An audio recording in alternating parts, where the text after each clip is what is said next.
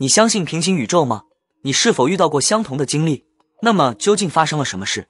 双击点赞加个关注，让我们一起走进他们的故事。我永远不会忘记那一天，以及只存在于我记忆里的那位同学潘博文。二零二一年，一位网友在网上发表的一篇标题为“不存在的同学”的帖子，引发无数网友进行讨论。更令人头皮发麻的是，不少网友也纷纷表示自己遇到过相同的经历。事情发生在作者高三那一年某天，当时距离高考还有四十三天。潘博文是作者初中同学，而且两人都是英语课代表。因为当时天津高考竞争压力不大，他们上了高三最后一节体育课之后就要全力备战高考了。当时博主和同班同学小温在甬道上打球，后来觉得太晒了，就准备找个阴凉地方继续打，于是就来到了宿舍楼前。就在这里遇到了故事的主角潘博文和另一个主要人物小军。小军和潘博文都是十班的，小军也是通过潘博文介绍认识的。四人就继续打起了球。后来小温嫌博主手劲太大，于是提出交换对手，就变成博主和潘博文打。结果潘博文一不小心打歪，一不小心羽毛球掉进了破烂的宿舍楼里。如果是便宜的，没就没了。可是那一个正好是名牌专用球，一个就顶博主的中午饭钱了。潘博文看出了博主的不舍，于是主动提出去捡球。博主同意了，但这也是博主做出的最后悔的一个决定。小军也比较好事儿，也一起跟了过来。留下小温一人看球拍，想要捡球就要进去宿舍楼去。按理来说，残破的宿舍楼平时一直都锁着门的，可是那天门意外没有锁，一推就开了，随之迎来一股凉风和发霉的味道。推门进去就是一堵墙，墙上写着住宿规定，落款是零三年。往左走就是一楼的宿舍，都是老式的木门虚掩着，尽头是个洗漱间，弥漫着一种类似氨水的味道。楼梯间在一个阴暗的角落。进到楼梯间里面不是很黑，正午的阳光正好能照进来。只是往下走的楼梯横七竖八的堆了课桌椅，看了有点害怕。于是博主就提议回去不捡了。咱们中国有个传统，就是来都来了，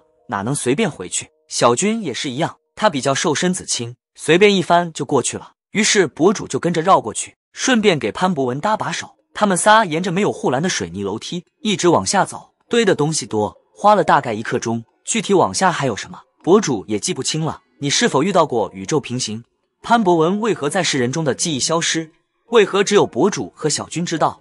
博主只记得地下一层还有往下的路，但是被好几个锁封上。外围是个大厅，有个敞开的小门连着走廊，门的尽头有亮光，正准备向前走。潘博文突然说：“钥匙掉了，要回去拿。”于是决定分开行动，事后外面汇合。博主觉得有亮光，应该是地下室向阳那面，就先跟着小军先进去了。不过他们走入之后，却什么都没发现。但是他们两人感觉都特别奇怪，明明有光，却迷失了方向，连退路都不知道在哪。感觉这个地方跟停车场一样大。博主说，当时情绪复杂，也不是恐惧，感觉肾上腺素飙升一样。随即扭头对着小军喊道：“朝着光的方向跑。”后来都不知道怎么从学校后门对着的那所小学的楼道里跑出来，只知道到室外那一刻，两人喘着粗气，身边是一群小学生出校门。连饭都不顾的吃，就直接回学校。进班就看见小温，他说看我和小军不出来，就直接把我们的拍子带回班了。博主扫了一眼，发现并没有潘博文的，就问了一下，毕竟是个名牌，挺贵的。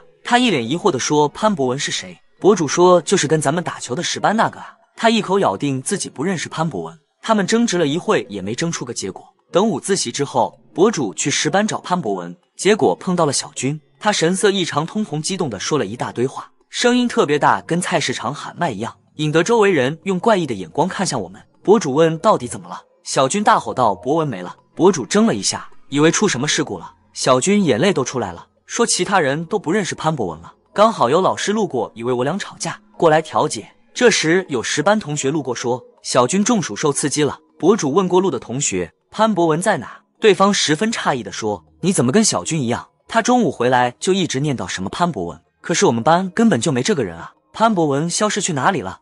真的穿越平行宇宙了吗？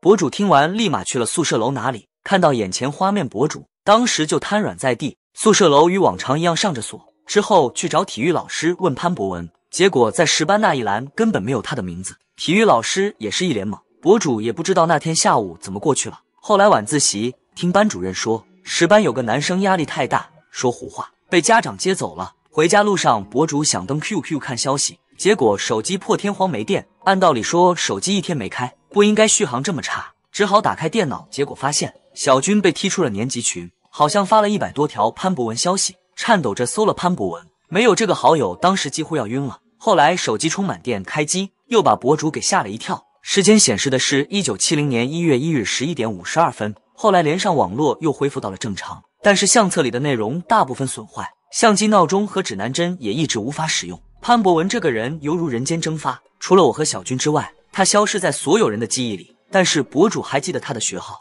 但在看到花名册的时候，他们班整个学号都前移了一位。他把这件事告诉了自己家人，结果却被家人不理解，还被拉到心理医院看医生。在之后的时间里，博主也陷入了自我怀疑，是否真的是压力太大？班主任也曾找到博主，让他放松，不要贸然接近小军。小军也是闹腾到二模消停了。随着事情发酵升级，好多网友开始讨论这件事情，有相信，也有不相信的。也有人表示自己曾遇到与博主相似事情，还有人向博主提问有关潘博文其他信息事情，博主也能想到之前与潘博文发生过的许多事情，只是有许多细节博主也想不起来，并不是刻意隐瞒，而是关于博文的记忆一直都很模糊，好像打上马赛克了一样。后来博主又发文澄清，是自己在极端悲愤中将自己幻想的朋友具体化，在大脑胡乱思绪下写下的，并不是真实事情。好了，视频就到这里了。那么你相信平行宇宙的存在吗？